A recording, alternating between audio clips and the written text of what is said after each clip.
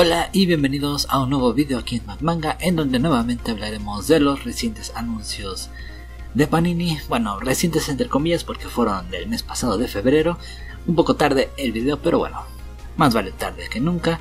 Y quiero empezar con los títulos que personalmente menos me llamaron la atención, no quiere decir que sean malos, sino que no me llamaron mucho la atención, así es que comencemos.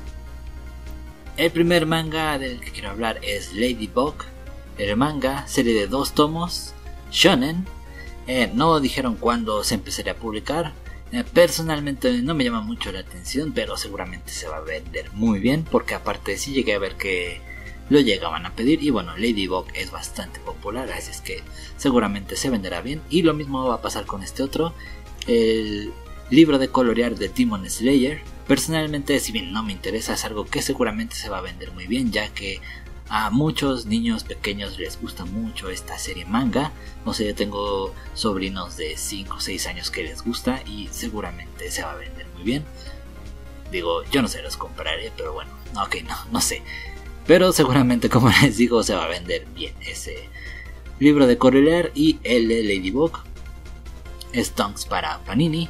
Y bueno, ahora los siguientes mangas sí me interesan, pero quién sabe si los voy a comprar o no, porque hay muchos títulos por seguir. Y bueno, el primero es Kimi wa Hokago Insomnia. Eh, la verdad no lo conocía, pero se ve muy bien. La trama me interesó, según tengo entendido, es de un chico y una chica que sufren de insomnio. Y bueno, poco a poco se van conociendo y así es este, un Seinen supuestamente.